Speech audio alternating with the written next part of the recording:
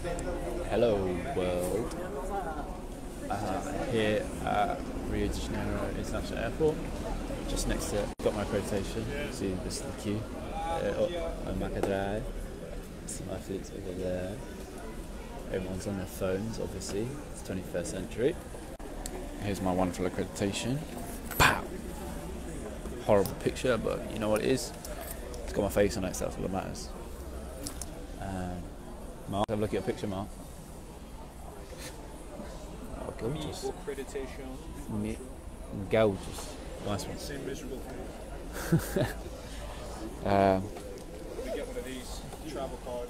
oh yeah, travel card, got that. Next is, uh, just got to wait for all these guys. Wonderful volunteers helping us out here.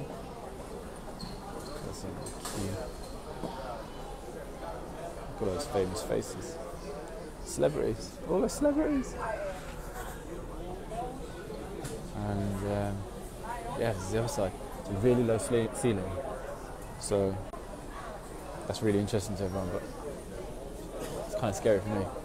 Anyway, uh, yeah, I think that's enough. You've seen enough of me. See you later.